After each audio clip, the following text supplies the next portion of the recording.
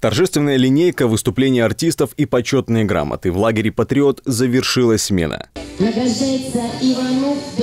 Официальная часть закрытия прошла на плацу 83-го инженерного аэродромного полка. После воспитанники поучаствовали в военной эстафете, показали освоенные навыки. Все было очень интересно, увлекательно.